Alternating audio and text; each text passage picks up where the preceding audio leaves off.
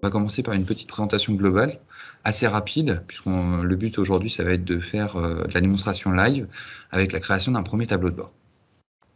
Donc on y va pour la présentation globale. En quelques mots, Power BI. Donc c'est un outil de visualisation interactive des données en self-service BI. Ça offre de nombreux visuels qui permettent de représenter tout type d'informations avec euh, beaucoup d'options pour euh, l'affichage. Euh, Power BI, c'est composé de deux entités. Une entité desktop, donc Power BI Desktop, qui est une application gratuite et qui s'installe sur un ordinateur en local. Et ça permet de se connecter à ces données, les transformer et de les visualiser. Ensuite, on a un deuxième composant qui peut se diviser en deux parties.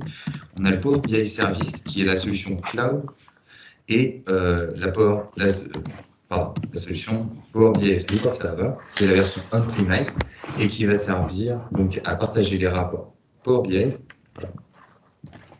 Euh, deux secondes, j'ai un écho. Marine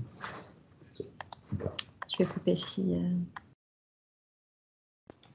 C'est bon. Merci. Euh, donc oui, la version Power BI Report Server qui est la version on-premise de Power BI et qui sert donc euh, également à partager des rapports, créer des tableaux de bord personnalisés, à partager des jeux de données entre les différents utilisateurs de la solution dans l'entreprise. Power BI, ça rassemble l'ensemble des fonctionnalités de l'informatique décisionnelle classique en un seul outil, c'est sa force, puisqu'on va pouvoir se connecter à de nombreuses sources de données, les extraire, nettoyer et transformer ces données, donc tout ce que fait un ETL, euh, puis ensuite gérer toute la partie visualisation, et pour euh, finir, la collaboration et le partage de ressources via le service euh, Power BI ou le Power BI Report Server. L'avantage de Power BI aussi, c'est qu'on a une documentation très complète et une communauté très active, euh, ce qui facilite grandement les développements et la prise en main. Maintenant, un petit peu d'histoire, puisque Power BI, c'est un projet qui a vu le jour donc, en 2010 sous le nom de Projet Crescent. Ça a été progressivement installé dans SQL Server puis euh, renommé en tant que Power BI en 2013 pour intégrer la suite Office 365. En 2015, euh, viennent s'ajouter dans Power BI euh, Power Query, Power Pivot et Power View, qui, étaient des add-ins d'Excel pour la manipulation de données de masse, et bien d'autres fonctionnalités en prime. Donc Power BI en 2015, c'était encore une solution assez jeune et avait l'avantage d'être très peu coûteuse mais euh, bien derrière d'autres solutions comme euh, Tableau ou encore Click en termes de fonctionnalité. Microsoft a investi énormément de ressources sur, euh, sur le développement de Power BI, et en 2019, Gartner, qui est une société de consulting ayant l'habitude de faire des comparatifs de solutions selon différentes thématiques, a classé Microsoft en tant que leader dans le domaine des suites analytiques, et notamment donc du coup grâce à Power BI, qui est une solution toujours de plus en plus complète.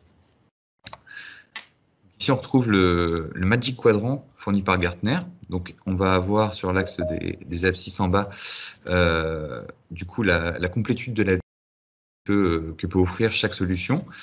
Et euh, on va retrouver, donc, du coup, sur les ordonnées euh, en hauteur, donc, sa, performance, on va dire, son aptitude à réaliser des projets on voit que Microsoft est tout en haut à droite dans les leaders, puisque c'est eux qui vont avoir la plus grande euh, vision et la meilleure capacité d'exécution et d'installation des nouveaux projets analytiques. Power BI, ça se décompose euh, donc du coup en deux services et on va avoir à chaque, euh, on va avoir des, des niveaux d'utilisateurs pour, pour cette solution. On va avoir tout ce qui va être consommateur de rapports. Donc là, on va parler de métiers souvent, qui vont être les utilisateurs finaux des rapports, qui vont exploiter la donnée afin de l'analyser, de la surveiller et prendre les décisions en conséquence. On va avoir tous les concepteurs de rapports, dont euh, je fais partie, euh, c'est-à-dire tous ceux qui vont euh, venir se connecter aux données, concevoir les requêtes, les modéliser, réaliser différentes mesures, etc. et créer des rapports et des tableaux de bord. Les administrateurs, eux, vont s'occuper de tout ce qui va être stratégie de déploiement, gestion des licensing, les capacités d'exécution, etc. Et les développeurs, eux, enfin, vont plutôt euh, s'occuper de tout ce qui va être intégration dans des clients lourds ou euh, des, portails web, des euh, tableaux de bord Power BI qui vont être créés en amont. Donc voilà. On va faire un petit tour rapide par l'architecture. Donc Power BI, ça se décompose, comme je disais, en deux entités. On a Power BI Desktop qui va nous servir à se connecter aux sources de données et à créer des premiers rapports. Puis, une fois que ces rapports sont créés, on va les publier. On va les publier soit dans la version Power BI Report Service, en haut, qui est la version cloud, soit la, euh, version Power BI Report Server, qui est donc la version on-premise. On a un composant en plus pour la version cloud qui s'appelle la Power BI Gateway. Qu'est-ce que c'est? En fait, c'est un petit composant qui va s'installer sur un serveur local et qui va s'occuper de gérer tout ce qui va être flux de données pour alimenter, actualiser les rapports. Power BI Service va permettre également de modifier ces rapports et de créer des tableaux de bord pour les diffuser largement dans l'entreprise. De même que Power BI Report Server.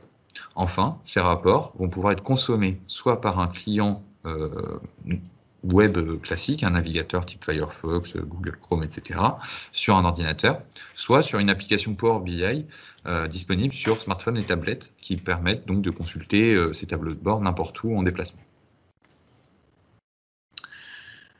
Pour enchaîner très rapidement, juste pour vous parler rapidement de la sécurité des données, puisque c'est un point qui est quand même assez important dans beaucoup de cas. Il euh, faut savoir que le, service Power BI est régi par les conditions d'utilisation de Microsoft Online Services et la déclaration de, confidentialité Microsoft Enterprise. Euh, puisque Power BI, euh, la version par défaut, on va dire, et la version cloud, Microsoft assure la protection de ces données. Power BI, c'est actuellement au niveau D du framework de conformité Office 365. Le niveau D, on peut voir euh, sur le petit graphique à côté que c'est euh, le niveau le plus haut de sécurité qui, permet notamment le stockage des, données à caractère euh, sensible comme celle concernant la santé. Donc voilà un petit peu, c'était un tour d'horizon très très rapide de Power BI. mais aujourd'hui, donc on est là pour faire, comme je disais, une démonstration euh, plutôt live. Donc, euh, je vous propose d'enchaîner directement euh, par un cas d'usage. je ne sais pas comment on gère les questions, Marine. Si donc, j'ai mis dans la conversation, si vous avez des questions, je vous invite à les noter et euh, répondra en fin de session. on fait comme ça. Alors, pour la démonstration, on va se baser donc sur un, sur un cas d'usage euh, qui est euh, Contoso Corporation. Euh, Contoso Corporation, qu'est-ce que c'est? C'est une entreprise fictive créée par Microsoft dont le siège est à Paris. C'est un conglomérat de production en fait de vente et de services après-vente qui compte plus de, 100 000 produits pardon, et implanté dans plus de 30 pays. C'est des bureaux organisés en plusieurs niveaux, hein, comme on peut retrouver dans pas mal d'organisations. Voir ça comme une FNAC qui va euh, produire ses propres produits avec des coûts de production, etc. Le but aujourd'hui, donc, ça va être de voir tout ce qui va être récupération de données, mise en forme de données, modélisation, puis on va euh, renommer les variables pour plus de, lisibilité. Pardon. on va voir comment on va faire pour créer un rapport, puis le publier euh, dans le Power BI Services afin de partager les données euh, à l'entreprise. Donc voilà Power BI. Alors, Power BI, comment ça se présente? On a, euh, quand on ouvre le logiciel, plusieurs informations. On a cette première vue, donc du coup, qui est la vue conception de rapport, où on va retrouver du coup notre bandeau ici qui va nous permettre d'effectuer différentes opérations avec plusieurs catégories. On va avoir donc un onglet filtre dont on servira par la suite, euh, les différentes visualisations disponibles et les champs à notre disposition. Donc là, on a un tableau de bord vide. On va pouvoir donc se connecter à des données, Excel, jeu de données Power BI, SQL Server et bien d'autres, euh, les transformer via un éditeur Power Query et euh, effectuer tout, plein d'opérations qu'on verra par la suite. On va commencer par se connecter aux données. Donc vous allez voir que Power BI met à disposition énormément de connecteurs à différentes sources de données. Donc ça va du Excel, du fichier plat, CSV, etc., XML, JSON, etc., du SharePoint, du PDF. On va pouvoir se connecter à différentes sources de données différentes en base de données, en table, etc. Euh, des euh, connexions au, euh, au de Power Platform à des services Azure, des services en ligne et autres, via euh, des liens web par exemple, euh, des API REST, etc., etc. Nous, on va commencer avec un exemple simple. On va se connecter à un, document CSV, un fichier plat, qui va contenir les données de Contoso allégées. Donc, je sélectionne mon fichier plat, automatiquement le délimiteur, qui est la virgule, m'afficher une première visualisation, mes différentes colonnes, euh, définir automatiquement l'encodage du fichier, etc. Donc on va pouvoir ici ensuite charger ces données directement dans le rapport ou les transformer via l'éditeur PowerPoint. Qu'est-ce que ça change? Tout simplement, c'est si je fais charger, je vais revenir directement sur ma page actuelle. Donc là, il est en train de me charger les données dans le rapport. On a une centaine de milliers de lignes. Et ici, du coup, dans mes champs disponibles, je vais avoir ma table avec mes différents champs. Si je veux modifier cette requête, qui est en fait c'est une chaîne de connexion hein, tout simplement, qu'on appelle une requête, on va pouvoir accéder via euh, le bouton transformer les données à l'éditeur Power Query. Dans l'éditeur Power Query, on a plusieurs, encore une fois, euh, possibilités. On a euh, plusieurs éléments, donc le nom de notre requête, de la ou des requêtes, puisqu'on va pouvoir en mettre plusieurs. On a des propriétés, qui va être euh, son nom ou encore sa chaîne de connexion, etc. On peut pouvoir venir modifier. Donc là, par exemple, je vais appeler ça euh, ma table vente. vente pardon. On a les étapes appliquées. On va y revenir très vite. Et en haut, du coup, encore une fois, on a le bandeau avec toutes les opérations qu'on va pouvoir effectuer sur ces données. On va pouvoir rajouter des nouvelles sources, en entrer manuellement, changer les paramètres de connexion, euh, on va pouvoir euh, supprimer des colonnes, en ajouter, etc. On va pouvoir transformer ces colonnes via tout un tas d'opérations, ajouter des colonnes, euh, etc. Donc, très rapidement, si je vais vous montrer comment on va faire pour... Si on veut regarder comment on peut modifier des colonnes. Donc, vous voyez qu'on a à disposition une interface pour visualiser nos données. Donc, on a des noms de champs qui ont été euh, devinés, on va dire, par Power BI. On va avoir donc des colonnes numériques, des colonnes de date, des colonnes de chaîne de caractères, etc. Dans ces colonnes numériques, donc là, en fait, on va avoir le nom de la colonne et le type associé juste à côté. Le petit ABC signifie que c'est une chaîne de caractères. Donc là, ici, on voit bien que ce, sont des valeurs en dollars. Donc je vais vouloir le transformer, par exemple, en, un autre type, euh, un nombre décimal par exemple. Donc là, si je choisis nombre décimal, on va pouvoir modifier le type de colonne. Modifier le type de colonne, il va nous demander après, comme on est sur une étape où on modifie le type de nos colonnes, si on veut remplacer l'étape actuelle ou en ajouter une nouvelle. Donc là, on va essayer d'en ajouter une nouvelle pour voir. Et il va me signifier une erreur. Donc pourquoi cette erreur? On va pouvoir regarder quelles sont les erreurs appliquées sur notre transformation de données en cas d'actualisation avec des loupés. Donc là, par exemple, le format ne convient pas puisqu'on a un dollar dans la colonne.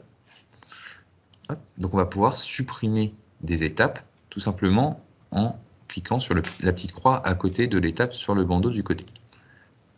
Et du coup, on revient à une situation sans erreur. Donc là, on a vu que c'était le dollar qui posait problème. Il va poser le problème dans cette colonne-ci, mais aussi dans ces trois-là. Donc ce qu'on va pouvoir faire, c'est modifier plusieurs colonnes en même temps. On va en sélectionner plusieurs grâce au match click, comme quand on veut sélectionner plusieurs dossiers, plusieurs fichiers dans un explorateur, par exemple.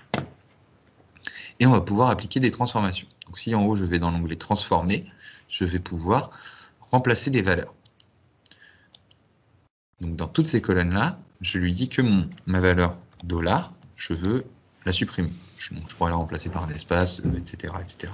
Donc là, on veut simplement la supprimer, donc on met rien. Et voilà.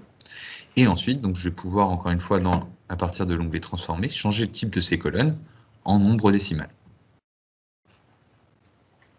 Et voilà. Donc là, maintenant, on va pouvoir utiliser nos colonnes en tant que nombre dans notre futur rapport. Donc là, par exemple, je vais vouloir rajouter une nouvelle source de données maintenant que ma première table est prête. Donc on va rentrer une nouvelle source de données. Hop, cette fois-ci, on va se baser sur du web. Donc je vais prendre une source récente puisque j'ai enregistré le lien. Donc c'est des données de population mondiale de euh, Worldometer, donc un site qui permet de visualiser euh, l'état de la population mondiale, mondiale actualisée, on va dire. Donc en fait, Power BI va requêter le lien et nous afficher le résultat de la requête. Donc j'espère que le Wi-Fi va suivre. Sinon, je vais des problèmes.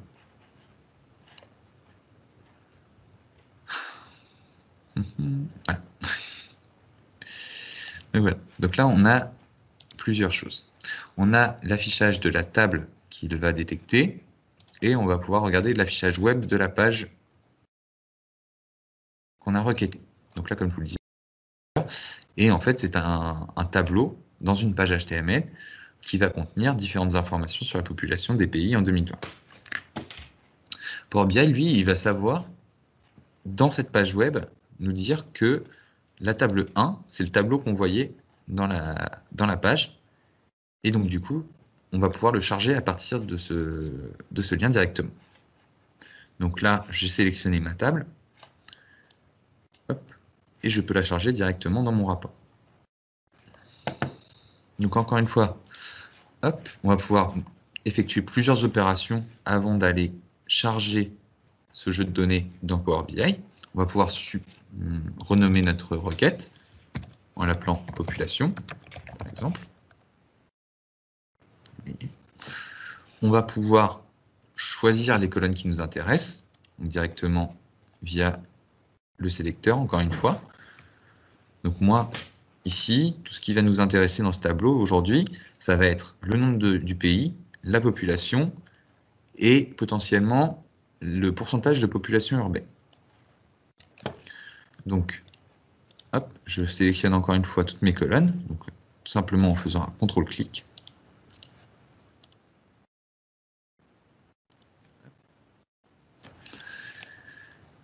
Et je vais pouvoir les supprimer d'ici, en cliquant sur ce bouton supprimer les colonnes, ou encore une fois, je peux faire clic droit et supprimer directement les colonnes d'ici. Supprimer les autres colonnes. Je me suis trompé, c'est pas grave. Encore une fois, hop, on peut supprimer l'étape, revenir à notre situation précédente et écrire les bonnes colonnes.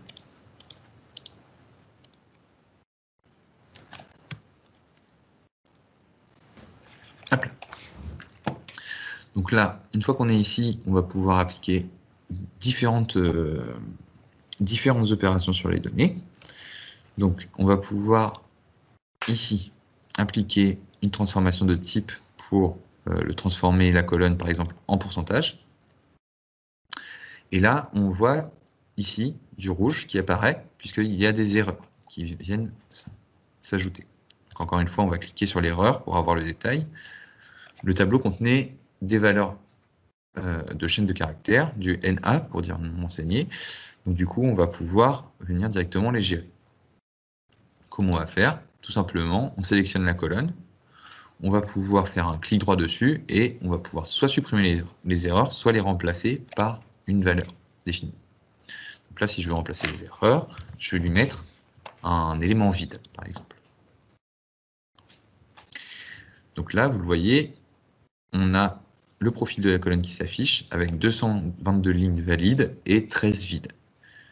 Si on veut un peu plus d'informations, on peut aller dans l'onglet affichage en haut et mettre les distributions de la colonne, la qualité de la colonne avec le pourcentage de valeurs vides, de valeurs validées, etc.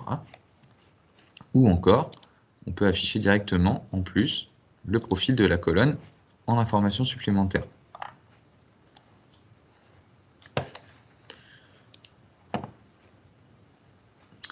Donc là, ce qui va nous intéresser maintenant, ça va être de rajouter pour chaque pays le pourcentage de population urbaine. Comment on fait ça? On a juste à transformer ce type à multiplier cette colonne, la valeur de cette colonne population, avec notre pourcentage. Donc pour ça, il va falloir que population soit en format de nom, puisque là, en fait, on a les, centaines séparées par des virgules. Donc ce qu'on fait tout simplement, encore une fois, on fait clic droit et remplacer les valeurs de virgule, puisque ce sont des nombres entiers. Donc là, j'ai mes nombres entiers. on va renommer rapidement nos colonnes pour avoir des colonnes un peu plus faciles à manipuler. Donc tout simplement pour les transformer, encore une fois, droit et euh, renommer, ou encore, ou encore, on peut double-cliquer sur le nom de la colonne, ce qui permet d'aller un peu plus vite, et renommer. Juste, hop, facile à manipuler, mettre pays, population, et pourcent de population urbaine. Ensuite, on va pouvoir ajouter une colonne en multipliant ces deux valeurs en rajoutant une colonne personnalisée. tout simplement, ça va être notre valeur urbaine son pourcentage, et ça va être tout simplement notre colonne population multipliée par la colonne pourcent urban pop. Vous pouvez soit l'ajouter depuis les colonnes disponibles ici, soit on commence à taper avec une, une autocomplétion proposée par Power BI.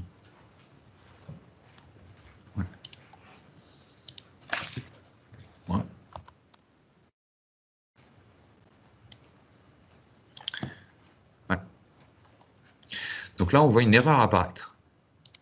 On voit l'erreur apparaître puisque euh, il ne sait pas mettre d'opérateur multiplication au type texte et nombre. Donc ça, en fait, c'est très simple. C'est parce que notre colonne population, on a oublié de changer le type en valeur numérique. Donc pour ça, en fait, on peut revenir en arrière dans nos requêtes et insérer une nouvelle étape ici pour transformer notre type euh, chaîne de caractères en nombre entier, insérer une étape, et quand on va revenir sur l'étape colonne personnalisée ajoutée, on va se retrouver avec des valeurs valides.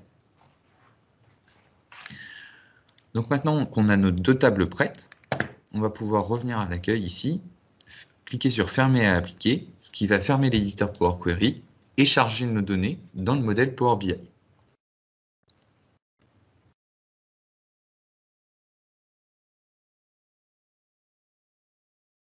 Donc là, on a juste à attendre que euh, Power BI crée donc effectue les chaînes de connexion aux données, applique les transformations qu'on a pu réaliser dans l'éditeur Power Query pour les mettre à disposition à l'intérieur du rapport. Donc là, ici, dans les champs, vous voyez qu'on a encore nos euh, anciens champs qu'on avait juste avant de rentrer dans l'éditeur Power Query. Et une fois que l'actualisation sera finie, on va avoir une mise à jour qui va s'opérer dès que ce sera à jour, parce que ça frise un petit peu. voilà. Voilà. Et on se retrouve donc avec nos tables et nos colonnes que l'on a créées précédemment. Donc Power BI ici, donc on a bien nos éditions de rapport, on va pouvoir très rapidement créer des nouveaux visuels. Donc on peut venir sélectionner directement un, euh, nom de champ ici pour qu'il s'affiche en tant que euh, nouveau visuel. Donc là, par exemple, je veux afficher l'état de mes ventes,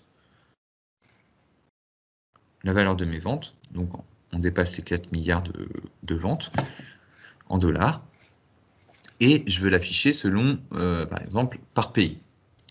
Donc là, on va avoir deux champs pays, on l'a ici et ici. Et là, vous voyez que la valeur a fait un peu n'importe quoi sur tous les pays. Pourquoi? Parce qu'il n'existe pas de relation entre cette table-ci et celle-là. Alors que, si je mets le, le nom de, de, pays correct ici, on a bien notre distribution qui va s'afficher. Ça, comment ça marche? On a par défaut deux champs qui n'ont pas le même nom région country name pour la table sales et country pour la table populations. En fait, Power BI va mettre à disposition plusieurs visu, on va dire onglets pour, euh, pour gérer différentes choses. On va pouvoir gérer le modèle des données directement depuis Power BI. Qu'est-ce que c'est la vue modèle? La vue modèle, ça va permettre d'éditer des liens entre les différentes tables qui composent notre rapport. La table Sales, ici, vous voyez, n'a pas de lien avec la table Population. Mais on va pouvoir en créer un, tout simplement en réalisant une jointure sur ces deux champs qui possèdent les mêmes valeurs. Juste en glissant et déposant le champ Region Country Name sur le champ Country de la table Populations, on va pouvoir dire à Power BI de créer un lien. Lui, il va directement analyser le contenu de ces champs pour réaliser un lien le plus correct. Une flèche est apparue, et quand je vais dessus, ça surligne du coup les deux champs qui servent à faire la jointure entre les tables.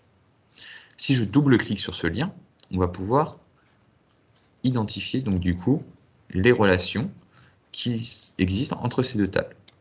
Donc on a bien la table Sales qui est en relation avec la table Population grâce au, champ Pays. La cardinalité de la relation signifie qu'il existe une ligne dans cette table Population et plusieurs valeurs pour cette même ligne dans la table Sales. Et enfin, on a un sens de direction, de filtrage, on va dire, entre ces deux tables, c'est-à-dire que vous voyez ici une flèche entre la table population et sales qui indique que la table population peut filtrer la table sales, mais que la table sales ne peut en rien filtrer la table population, puisque le sens de la flèche est contraire. On va pouvoir choisir ici de rendre la, direction du filtrage croisé à double sens, et ainsi la table sales pourra également filtrer la table population, et vous verrez dans quel sens ça servira juste après. Sur ces champs ici, on va pouvoir rajouter tout, plein d'autres propriétés.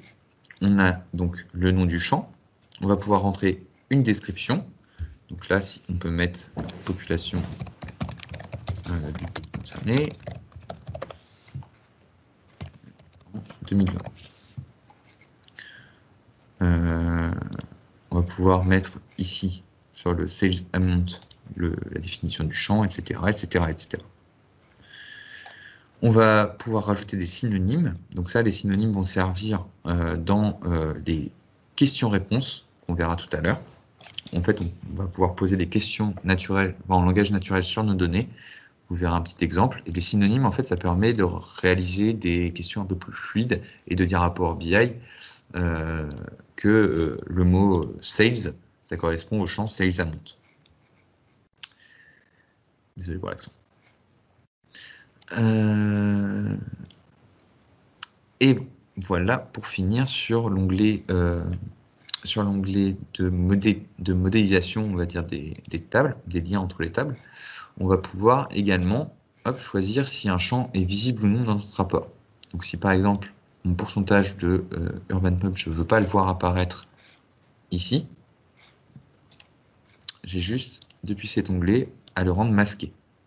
Donc là, on voit qu'il y a un petit, euh, un petit icône qui apparaît avec un œil barré à côté du champ. Ça veut dire qu'on ne le retrouvera pas dans notre rapport pour le mettre dans nos visuels. Enfin, le dernier volet disponible, c'est l'outil exploration de données. Donc c'est un petit peu la même chose que sur l'éditeur Power Query, sauf que là on reste bien dans Power BI. Et on va pouvoir explorer les champs de notables aussi directement et aller voir des données en détail lorsqu'on a des problèmes sur nos visuels. On va pas s'attarder plus sur ce, sur, ce, sur ce panneau pour se concentrer directement sur la création du rapport. Alors,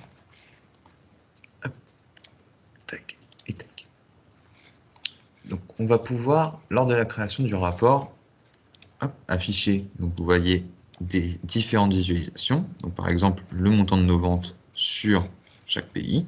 On peut les afficher donc, dans des graphiques barres, des graphiques barres donc horizontales ou verticales. On va pouvoir afficher des cartes pour ressortir nos euh, informations les plus importantes, comme par exemple la valeur de nos ventes. Si on veut calculer par exemple des KPI, on va pouvoir rajouter des visuels d'indicateurs de performance clés et on va pouvoir aussi créer des colonnes calculées et des mesures calculées. Donc qu'est-ce que c'est des colonnes calculées Tout simplement, c'est la même chose que ce qu'on a vu dans l'éditeur les, Power Query. On va pouvoir rajouter une nouvelle colonne en disant je veux calculer par exemple mon chiffre d'affaires à partir de mes montants de vente, de mes montants de réduction et de mes montants de retour. Donc, on va calculer un chiffre d'affaires, sales revenue en anglais, qui va être, donc, comme je le disais, tout simplement, le montant de mes ventes moins le montant de mes retours moins le montant de réduction. Et tout simplement, donc ça va me créer une nouvelle colonne qui va être directement intégrable dans des visualisations comme des euh, KPI, euh, des, cartes, etc. Donc là, si on veut créer un KPI, on veut afficher un indicateur qui est notre chiffre d'affaires selon un axe de tendance qui sera ici notre date et avec un objectif qui sera donc le euh, montant des ventes, par exemple. Donc forcément, on a un chiffre d'affaires qui est inférieur au montant des ventes, ça paraît logique. Est-ce que le chiffre d'affaires, c'est l'indicateur principal qu'on peut voir ici? On peut peut-être faire mieux. Tout simplement en réutilisant cette colonne, on va pouvoir calculer aussi, en utilisant le coût total de production de nos, de nos ventes, associé à nos ventes, une marge brute. Tout simplement, on va rajouter une nouvelle colonne. On va appeler donc gross margin, marge brute, qui sera tout simplement notre chiffre calculé moins le coût total. voilà. En quelques clics, on fait très simplement deux euh, indicateurs clés pour une entreprise et on va pouvoir directement créer des visuels très rapidement, vous voyez, associés, hop, et on va pouvoir calculer, donc afficher notre marge brute par rapport à notre coût total, ce qui va nous donner un pourcentage de marge directement, de 17%. Donc là derrière, vous voyez l'axe de la tendance qui est sur notre date. Peut-être que euh, afficher jour par jour, ce n'est pas très intéressant. Si on fait une analyse peut-être au niveau annuel, ça suffirait largement. Donc pour ça, on va utiliser ce qu'on appelle des hiérarchies de dates.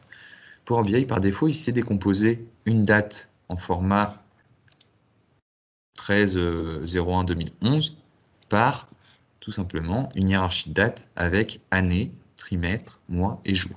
Donc on va pouvoir choisir d'afficher par année, par trimestre, etc., etc. Donc là, on va se concentrer sur l'année, tout simplement. Vous voyez que le, que le montant change à chaque fois. Donc là, en fait, c'est la marge brute dégagée pour l'année actuelle, c'est-à-dire la plus récente, la 2013. Alors que là, notre montant de vente, il est sur trois années, 2011, 2012 et 2013. Donc voilà, simplement. On peut voir ici qu'on n'a pas de valeur. Tout à l'heure, on a vu dans euh, l'éditeur Power Query que euh, sales amount, return amount, etc., on a été en dollars. L'avantage de Power BI aussi, ça va être de pouvoir définir des formats pour ces colonnes. Donc là, par exemple, on a un format général pour la colonne marge brute qu'on va pouvoir dire, qu'on va pouvoir définir pardon, comme une devise. Une devise s'affichera alors en dollars. On l'aura par défaut donc ici en dollars et avec un certain nombre de virgules. On va pouvoir fixer encore une fois. Par défaut, il en met énormément deux valeurs décimales suffisent largement.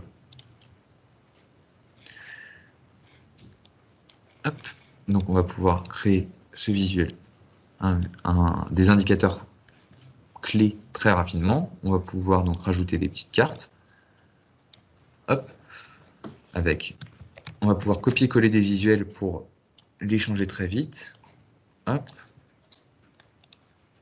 Rajouter donc, encore une fois, euh, des tables, des tableaux, tout simplement, avec euh, euh, différents, différents comme un canal de vente par exemple, différentes informations, donc axe d'analyse. le canal de vente, on va pouvoir afficher donc notre chiffre d'affaires par canal de vente dans un tableau, tout simplement. Ce visuel, on va pouvoir le transformer très facilement en plein d'autres euh, via directement le petit onglet visualisation ici, comme par exemple un graphique en secteur, un camembert hein, tout simplement. Hop, le redimensionner, le placer sur notre rapport, et voilà, simplement.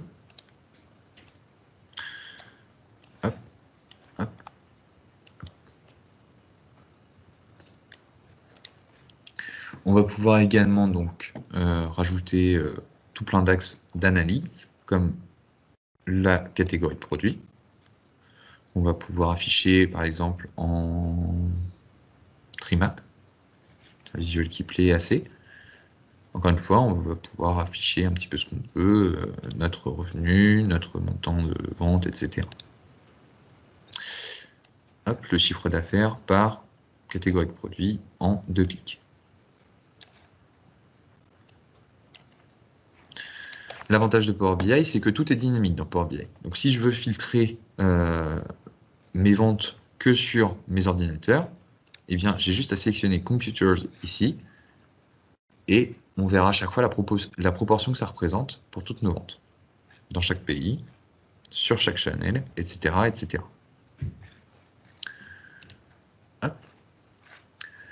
BI, ça propose également des mesures calculées. Qu'est-ce que c'est euh, des mesures calculées? C'est euh, un petit peu comme une nouvelle colonne, mais les mesures vont permettre de réaliser un petit, des agrégats.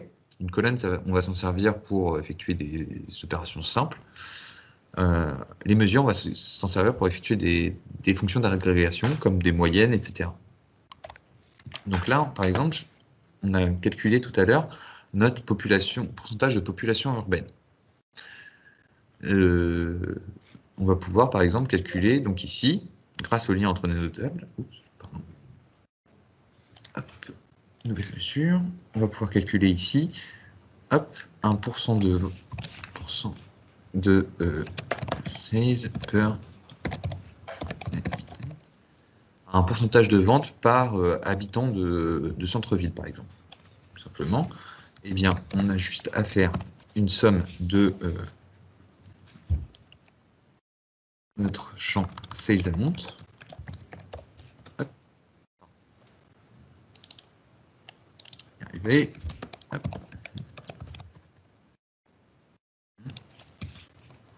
Divisé par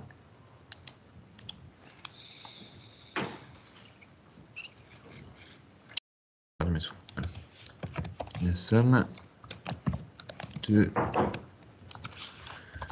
population urbaine. L'avantage, c'est encore une fois, Power BI va nous proposer tous nos champs pour euh, nous aider à faire nos calculs le plus rapidement possible. Donc encore une fois, hop, je signifie à BI que c'est une devise en dollars.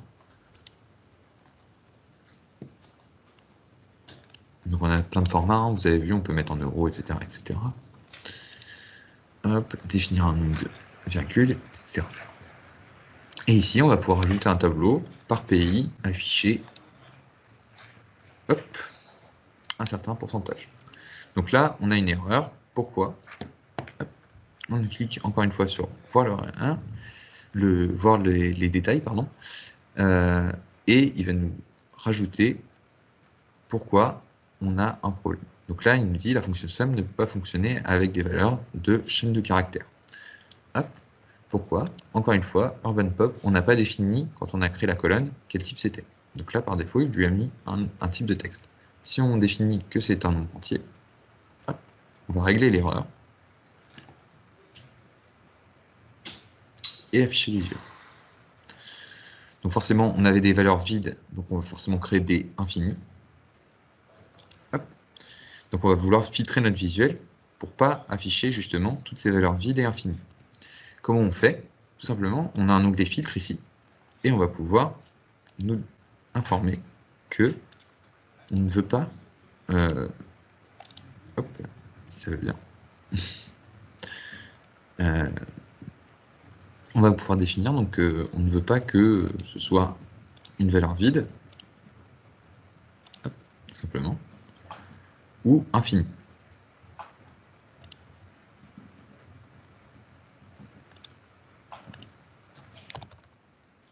100 dollars, plus infini qui s'affiche. Donc ça nous crée un tableau où on va avoir un nombre de dollars moyen dépensé par habitant de, centre-ville. C'est un calcul très rapide, mais euh, ça donne une idée de ce qu'on peut faire avec des croisements rapidement euh, entre différentes informations de table. Euh, donc là, on a quelques visuels à disposition pour notre rapport. On a nos catégories de produits, on a notre notre marge brute par année, on a un montant de vente, notre coût total affiché. On va pouvoir explorer un petit peu notre rapport comme ceci. On peut mettre en forme très rapidement euh, nos visuels euh, dans l'onglet visualisation avec le petit pinceau qu'il y a ici. Le rouleau, ça nous permet donc du coup d'avoir plusieurs euh, champs à personnaliser. On va pouvoir définir un style, par exemple, pour notre table ici. On a un style par défaut, mais on en a euh, tout un tas de disponibles. On va pouvoir gérer l'affichage de la grille, euh, la police des entêtes de colonne, si on veut ajouter très, très volumineuse ou autre. Euh, on va pouvoir aussi choisir la mise en forme des champs via des mises en forme conditionnelles, notamment avec euh, bah, par exemple euh, des couleurs d'arrière-plan pour euh, notre pourcentage de vente, etc., etc. Ici, encore une fois, on va pouvoir modifier la couleur des données, etc. Très rapide, très succinct.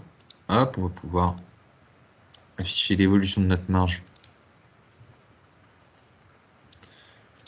Tac, et de notre coût total, par exemple sur plusieurs dimensions dans un seul graphique. Donc là, on l'a par année. Tac. Ce graphique, il permet aussi de descendre dans la hiérarchie de dates qu'on a vu tout à l'heure pour faire par année et trimestre et par mois. On va pouvoir étudier donc notre marge, notre coût, etc. Power BI, donc ça permet également d'ajouter des zones de texte pour ajouter par exemple un titre à notre page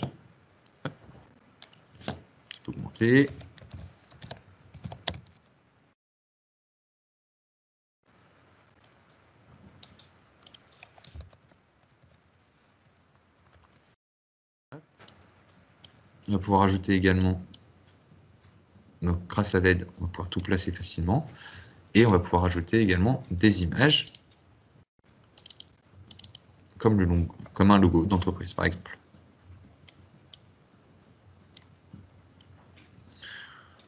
Une fois qu'on a une première version de tableau de bord, qui est euh, réactif, qui nous permet de un petit peu euh, plusieurs axes, on va pouvoir publier notre rapport. tout simplement, on va l'enregistrer. On va l'appeler démonstration euh, contour sales.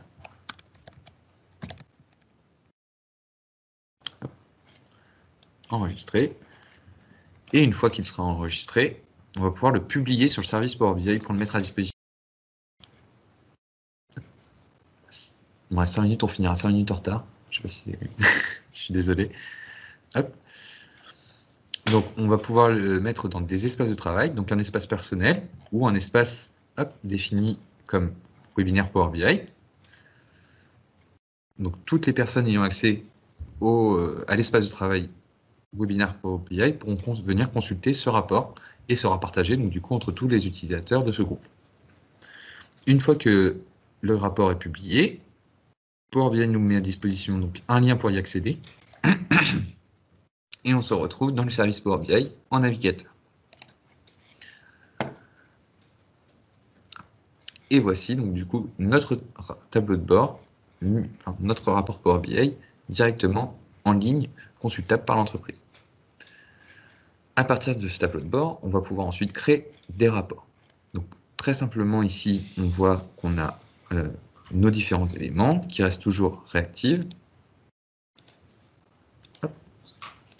On va pouvoir venir modifier le rapport, consulter euh, nos champs et voir comme tout à l'heure, le détail de nos champs, comme on a défini plus tôt.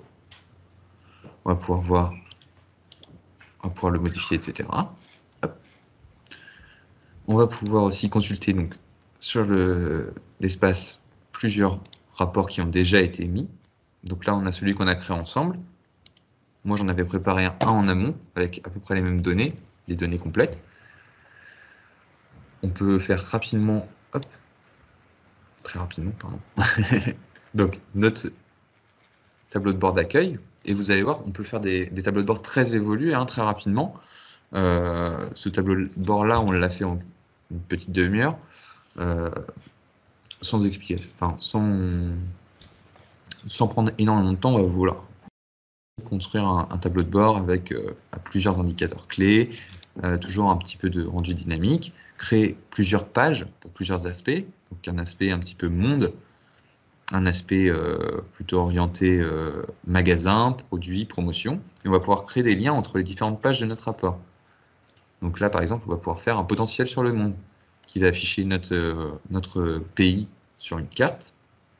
On va pouvoir, grâce à la colonne qu'on a créée tout à l'heure, le, montant moyen de, de vente par habitant, rajouter par exemple un indicateur qui va donner, qui va permettre de simuler une augmentation de pénétration de marché, de pourcentage de pénétration de marché, et de recalculer dynamiquement du coup un, potentiel de développement avec un delta en dollars pour s'implanter dans tel ou tel pays.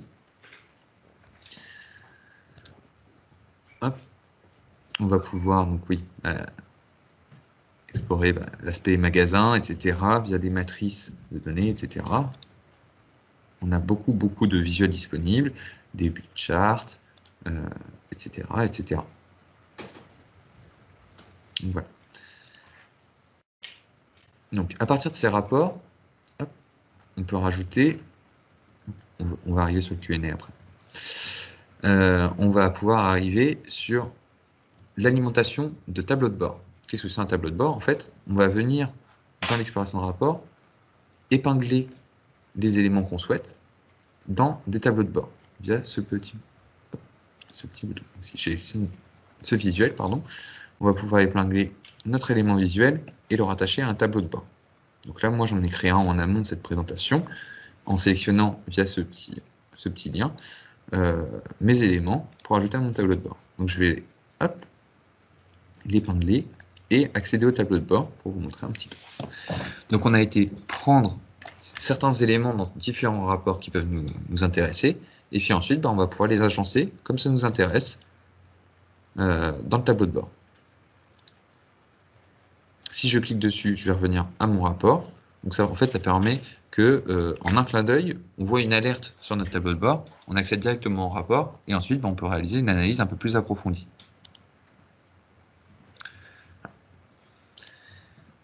Et le dernier point, qu'on peut faire, donc on a les tableaux de bord qu'on peut définir en page d'accueil quand on se connecte au service Power BI. On peut publier des applications. vous voyez ici, on a inclure les tableaux de bord et les rapports dans l'application.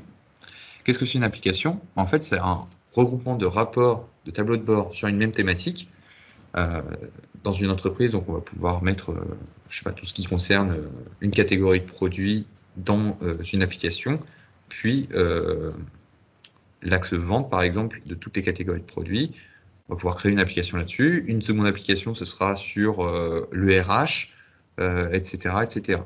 Différents aspects des données de l'entreprise. Donc, publier une application, c'est tout simple. On rentre un nom d'application, une description.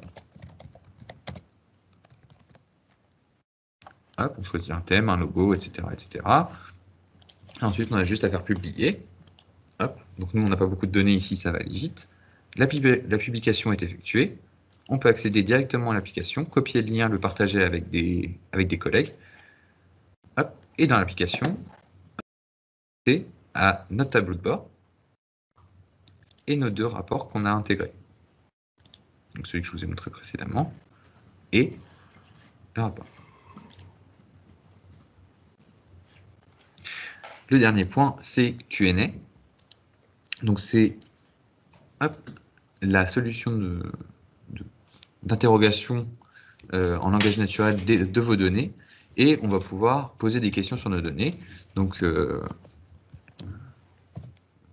on va demander par exemple, en anglais toujours, euh,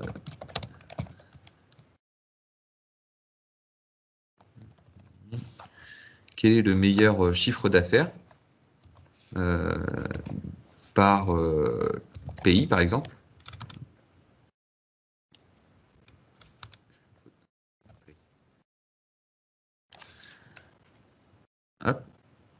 et il va nous donner euh, quel est le, chiffre d'affaires par, pays. Et on va pouvoir lui demander aussi de rajouter euh, un filtre. Euh, l'année 2013 par exemple. S'il veut bien.